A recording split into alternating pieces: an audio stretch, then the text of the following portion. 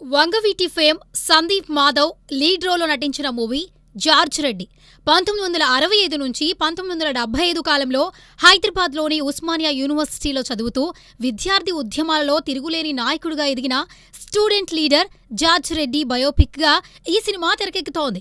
ఇటీవల విడుదలైన ట్రైలర్తోనే అంచనాలు అమాంతం పెంచేసిన ఈ జార్జ్ రెడ్డి సినిమా రిలీజ్కు రెడీ అయిపోయింది. ఇప్పటికే బిజినెస్ కంప్లీట్ చేసుకున్న ఈ మూవీని నవంబర్ ఇరవై రెండున విడుదలంటున్న ఈ చిత్రం ప్రమోషన్స్ని గ్రాండ్ స్కేల్లో ప్లాన్ చేస్తున్నారు. షూటింగ్ అప్పటికీ పెద్దగా టాక్ లేని జార్జ్ రెడ్డి ట్రైలర్ విడుదల తరువాత ఒక్కసారిగా సంచలనంగా మారింది.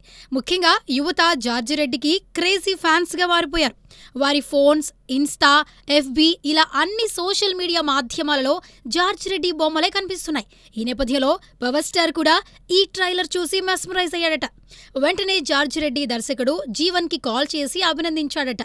జార్జ్ రెడ్డి లాంటి రియల్ సూపర్ హీరో కథలు ఇప్పటి యువతకు ఎంతో అవసరమని ఈ సినిమా కోసం నా సహకారం ఎప్పటికీ ఉంటుందని పవన్ మాటిచ్చారట. ఇచ్చిన మాట ప్రకారమే ఇప్పుడు జార్జ్ రెడీ రిలీజ్ ఈవెంట్కి పవన్ కళ్యాణ్ ముఖ్య అతిథిగా విచ్చేయనున్నాడని తెలుస్తోంది.